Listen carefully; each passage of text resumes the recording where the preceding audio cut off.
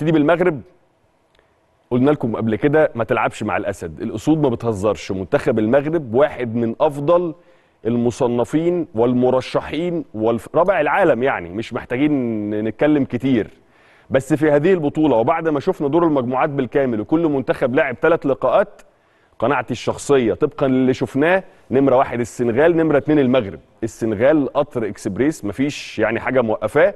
المغرب النهارده لا يعني آه تقدر تقول إنه فعلا السبب في التعادل في اللقاء السابق امام الكونغو كان الحرارة والجو لانهم كانوا بيلعبوا الساعة 4 كانوا متفوقين ومتقدمين حتى آخر 10 دقائق والكونغو خطفت جول التعادل في اللقاء كان متسيده المنتخب المغربي فاز في اللقاء الأول على تنزانيا 3-0 مع الرأفة النهارده بيفوز على زامبيا 1-0 وكان بيلعب وبيجرب الركراكي النهارده اللي كان موقوف وبيقود الفريق من آه من المقاعد الجماهير.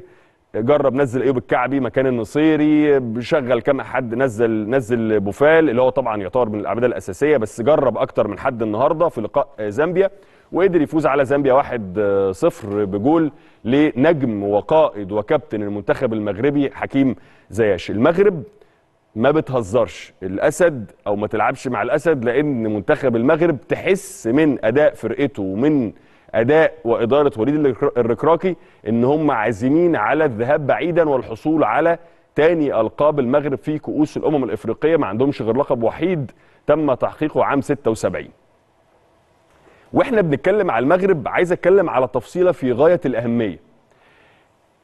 إحنا بنتكلم النهارده على حكيم زياش. بالهدف اللي سجله النهارده بقى ثالث هدافي المغرب عبر التاريخ. يعني أحمد فراس عنده 36 هدف. يليه صلاح الدين بصير عنده 27 هدف يليه حكيم زياش عنده 22 هدف بالهدف اللي سجله النهارده قدام زامبيا وأخيرا يوسف النصيري بالهدف اللي كان سجله قدام تنزانيا في بداية دور المجموعات بقى هو رابع الهدافين ب 20 هدف.